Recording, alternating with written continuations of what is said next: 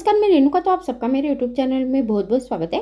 तो अगर आप टेस्ट में बढ़िया और बहुत ही कम साहित्य में बनने वाला ऑयल फ्री ऐसा नाश्ता बनाना चाहते हो तो आज मैं आपको ऐसा ही मूली से बना एक नाश्ता लेके आई हूँ, जो आपको बहुत ही ज़्यादा पसंद आने वाला है। तो चलिए स्टार्ट करते हैं आज का वीडियो तो ये रेसिपी बनाने के लिए मैंने यहाँ दो कप किसा हुआ मूली लिया है। तो आप यहाँ मूली की जगह आलू का भी इस्तेमाल कर सकते हो, नहीं तो गाजर का भी इस्तेमाल कर सकते हो। नहीं तो आप किसा हुआ खीरा भी ले सकते हो। फिर हमें इसमें बाकी के साहित्य डालने हैं तो सबसे पहले हमें इसमें एक चम्मच जीरा डालना है। फिर इसमें आधा चम्मच हल्दी पाउडर डालने हैं।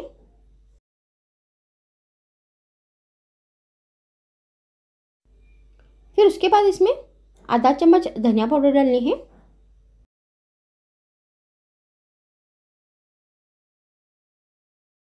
फिर इसमें एक चम्मच गरम मसाला पाउडर डालना है।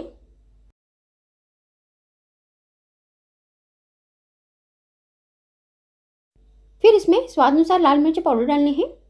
तो आप यहाँ स्वाद अनुसार बारीक कट किए हुए हरी मिर्च का भी इस्तेमाल कर सकते हो। फिर हमें इसमें आधा कप बारीक कट किए हुए हरी धनिया डालनी है।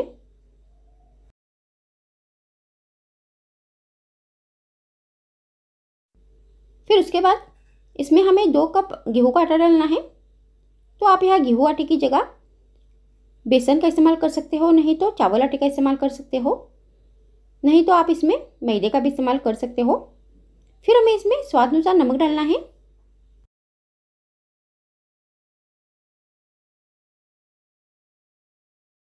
फिर आखिर में अभी हमें इसमें दो चम्मच तेल डालना है। तो मैंने यहाँ ठंडा ही तेल लिया है।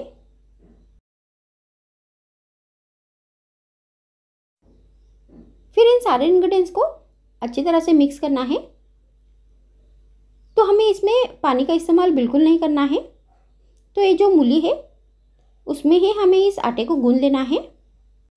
क्योंकि मूली में पानी का प्रमाण ज़्यादा रहता है तो अगर पानी कम पड़े तो आप इसमें थोड़ा सा पानी डाल सकते हो।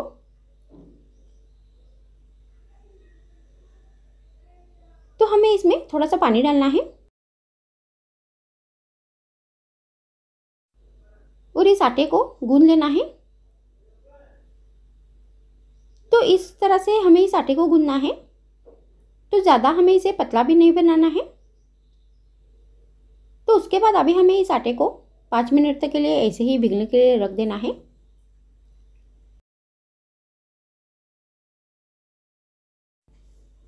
तो यहाँ भी पाँच मिनट हो चुके हैं और ये आटा भी अच्छी तरह से भीग चुका है। फिर हमें गैस पे एक तवा रखना है और इस आटे के इस तवे के ऊपर अभी हमें पराठे डालने हैं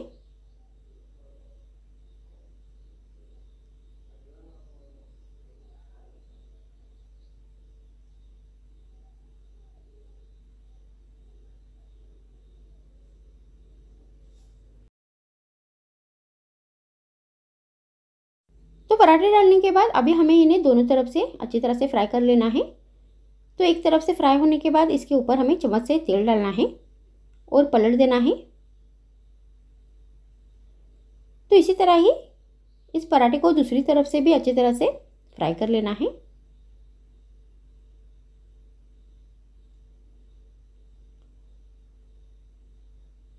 तो अभी यहाँ पराठा ये दोनों तरफ़ से अच्छी तरह से फ्राई हो चुका है।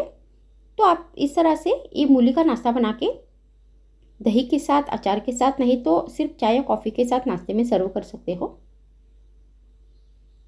नहीं तो आप इसे सिर्फ़ चाय या कॉफ़ी के साथ ऐसे भी दे सकते हो। तो फिर आज के वीडियो में इतना ही। तो फिर से मिलते हैं और एक नए वीडियो में और एक नई टेस्टी रेसिपी के साथ। तो thanks friends watching my video